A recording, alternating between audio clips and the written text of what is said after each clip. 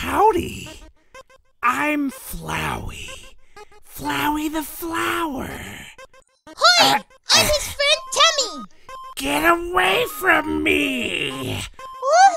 But I'm just telling the truth!